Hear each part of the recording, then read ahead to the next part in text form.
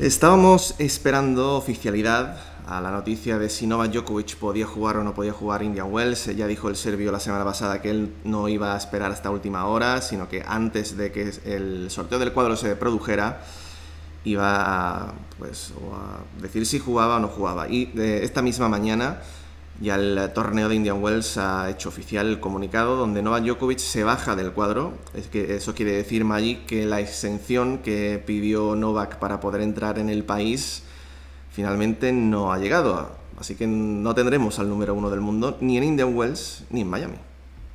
Hombre, la noticia, José, es horrible, ¿no? Horrible para el tenis porque nos quedamos sin uno de los grandes atractivos y uno de los grandes puntales y una de las grandes estrellas en estos dos torneos que se avecinan. Y eso nos va a dejar, pues, de hecho, sin Novak Djokovic, sin Rafael Nadal y con la duda, vaya usted a saber, de si Carlos Alcaraz llegará o no a Indian Wells. Pero bueno, hablando solamente de Djokovic, ha hecho al final lo que él dijo que iba a hacer, que si no daba tiempo a que esa exención se materializase, se bajaría antes del sorteo. El sorteo es hoy esta noche y ya vamos, sabemos, ¿no? Que no está Djokovic en él. Una pena, una lástima.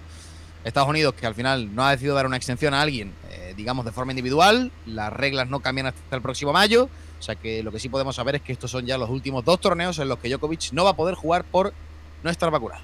Solo hay cinco países en el mundo, en todo el globo terráqueo, que no dejan eh, entrar a, extranjeros no vacunados. Estados Unidos es uno de ellos, los otros son, para que situemos un poco, Pakistán, Yemen, Indonesia y Myanmar. O sea, son países, en fin, eh, para que os hagáis una idea. Claro, evidentemente la noticia pues Mm, ha trascendido, ¿no? Todo el mundo hablando esta mañana del tema de Novak Djokovic, de, bueno, algunos, muchos a favor, ¿no? De, bueno, ¿por qué deben cambiar en Estados Unidos su, su normativa si ellos eh, piensan así? Eh, otros es increíble que en pleno 2023 esto esté ocurriendo. Bueno, al final, nosotros, analizando un poco la situación, vemos que Novak Djokovic puede entrar en Estados Unidos en 2020 y 2021, justo cuando la pandemia estaba en peor momento, ¿no? Cuando era su punto álgido, ahora que todo está controlado llama la atención que no la hayan dejado entrar ni en 2022 ni en este caso todavía 2023 y sobre todo Magic que el propio presidente ha hablado y ha dicho ya el tema del, ¿no? del bicho está medio controlado prácticamente controlado y que como tú has dicho en mayo se iban a liberar estas eh, esta situación. Entonces solamente se estaba pidiendo pues adelantar un poco este cambio no pero no, no le han dejado. Entonces eh, esto es lo que al final nos afecta a todos. Mira que los propios directores de Indian Wells y Miami, muchísimos senadores, muchísimas personalidades del, mundo del, deporte habían hablado, oye, por favor, que, esto ya está controlado, por favor, que se le deje entrar. Y ni así. ¿eh? Yo creo que al final las dos cosas que tú mencionabas al principio no tienen por qué ser excluyentes, ¿no? O sea, realmente se está cumpliendo la ley, se están cumpliendo las reglas en este momento, no se está haciendo excepción de esa ley o de esas reglas solo por ser un deportista de alto nivel, eso no quiere decir que las reglas no tengan ningún tipo de sentido, ¿no? Que es lo que yo creo que todos pensamos a día de hoy, eh, que por mucho que Estados Unidos mantenga esto para todas las personas del mundo, a día de hoy no tiene ningún tipo de sentido. Fíjate que si el torneo de Inewell se jugara en el mes de junio, Djokovic estaría compitiendo. ¿Es Djokovic un mayor peligro para la sociedad estadounidense en el mes de junio que en este mes? Yo creo que todos sabemos que no, que no lo es, pero vamos, te quiero decir, ni Djokovic ni ningún otro deportista no vacunado que quisiera jugar. Entonces, es verdad que en 2020, 2021 no se tenía todavía ese instrumento que ha sido tan importante para parar un poquito todo esto, que es el tema de las vacunas, pero una vez está la situación absolutamente controlada, sin riesgo, todos los países han vuelto a la vida absolutamente normal. Bueno, yo creo que a mí lo que a mí lo que más me sorprende es el empecinamiento de Estados Unidos en mantener una política tan restrictiva que yo creo que le hace tanto daño incluso hasta tan adelante en el tiempo y que eso no nos permita no tener a Djokovic y no poder tener a lo mejor a cualquier otro deportista de alto nivel. ¿no? no tiene ningún tipo de sentido. Yo sí que pienso, José, yo puedo entender que no se haga una excepción solo por ser una persona. Yo pues, eso puedo entenderlo, para mí lo entiendo. Ahora bien, como decimos, para mí el problema de raíz, la semilla está en una regla estúpida, una regla absurda que a día de hoy no debería estar en... Es que no deberíamos ni, ni tener que estar debatiendo esto. Es, lo que, es lo que yo pienso, ¿no? Entonces, bueno, las cosas han dado así y por suerte, como digo, por suerte, ya de cara a Montreal, Cincinnati, Usopp, Djokovic va a poder estar ahí porque esto es, ya digo, una, absoluta absurdez. Es eh, bueno destacarlo que si no ocurre nada raro, Novak Djokovic sí va a poder estar en verano en, Estados Unidos. Eh, esto es simplemente algo que ah, durará hasta mayo. Pero como digo, eh, mira que a día de hoy, en pleno 2023, ¿no? ya marzo de 2023, cuando miramos atrás a cosas que se han hecho en 2020, nos llama la atención de lo mal que se hicieron. De hecho, mm, el tema del confinamiento ultra brutal que tuvimos durante dos meses y cosas así que a día de hoy se harían de otra manera. Yo creo que este tipo de cosas, este tipo de normativas que, estamos viendo ahora mismo aquí con el tema de Novak Djokovic en, eh, en Estados Unidos, dentro de dos años miraremos atrás y, diremos qué, absurdez, ¿no? Qué cosa más tonta cuando se ha liberado en mayo, que no se podía haber hecho en marzo, que ya hasta los propios, todo el mundo está diciendo que ya todo, todo está controlado, es como una gripe ya a día de hoy.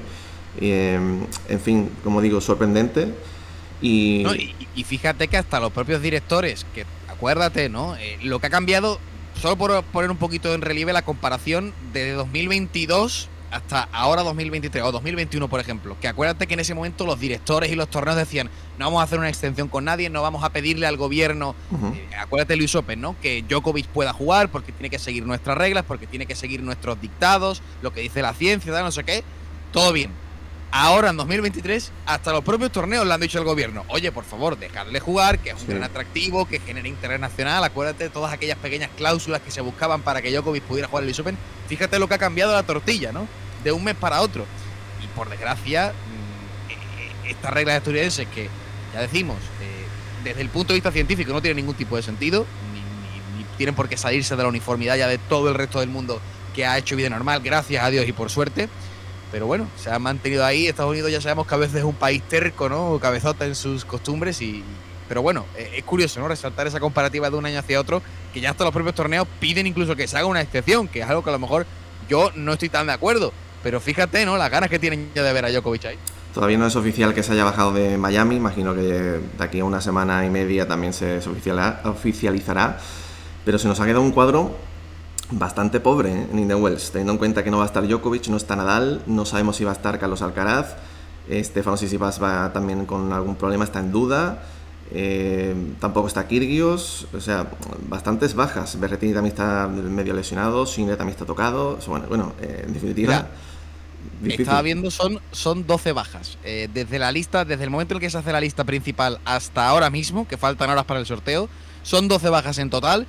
Y dentro del top 50 Djokovic, Nadal, Kirios, Chilich, Korda, Gofan, Bonsi y Brooksby. O sea, fíjate la cantidad de jugadores, más los que están en duda, como tú has dicho, si Paz, problemas del hombro, todavía a día de ayer no ha viajado a, Indian Wells. Ayer estaba en París todavía, o sea que fíjate, está apurando hasta el final y Carlitos, pues ojalá que se recupere, pero la lista sí, sí, es preocupante. Yo imagino que Tommy Haas no estará muy, muy contento ¿eh? con el plantel que se le ha quedado en Indian Wells. Siempre recordamos uno de los mejores torneos, si no el mejor torneo eh, de, la, de la temporada ATP, hablo.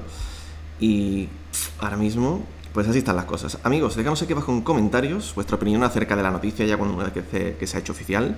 Y nosotros, como siempre, nos vemos en más vídeos y más directos. Ya sabéis, esta noche, 12 de la noche, aquí tendremos el análisis en directo de los cuadros de Indian Wells. Y ya sabremos si Carlitos Alcaraz está ahí o no está y el, camino que tendrá el español. Grand Magic, un abrazo, hasta pronto. Hasta la próxima, José. Adiós.